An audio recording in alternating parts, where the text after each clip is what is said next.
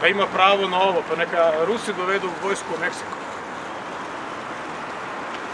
Se to ne bi niko trpio, dakle, kako da kažem, ruski model vlasti nije model vlasti za nas, nije ni mađarski.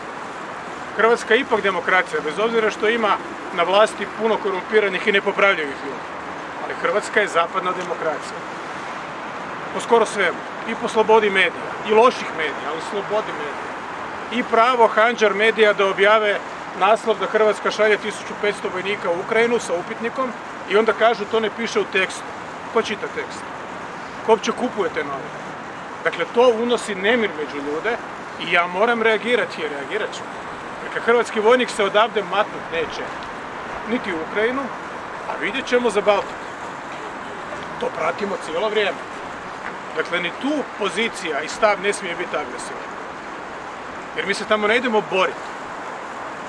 Mi možemo pokazati solidarnost Ukrajini, Poljskoj i Baltičkim državama koje su članice NATO.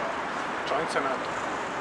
Ali otići u Kijev, okupiti dvije dnevnice Europskog parlamenta, pojest borš na ukrajinski račun i reći ja sam solidaran sa Ukrajinom je licemjerje. To rade neki hrvatski europarlamentarci.